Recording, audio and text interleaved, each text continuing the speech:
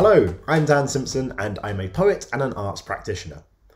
One of the things I love about writing and performing poetry is that we can share what we think and feel with other people and communicate that in a really creative way with each other.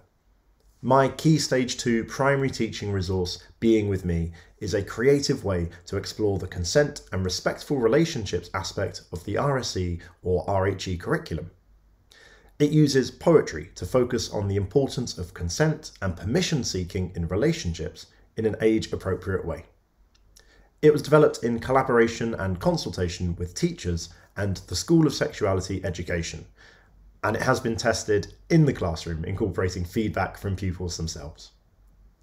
The resource is part of a New Direction's Teaching for Creativity programme, which supports teachers to develop young people's creativity through a broad and diverse curriculum.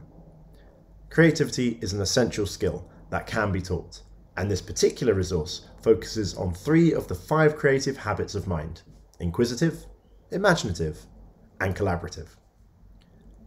Across two lessons, through class discussion and creative writing, pupils will practice wondering and questioning, challenge assumptions, and work together on a creative task, taking part in critical reflection.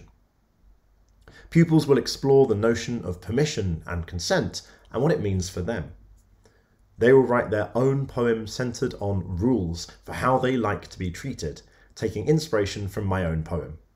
They will grow an understanding of their personal space, boundaries, and what makes them feel safe, and in turn, their appropriate and respectful actions towards each other. I hope you enjoy it.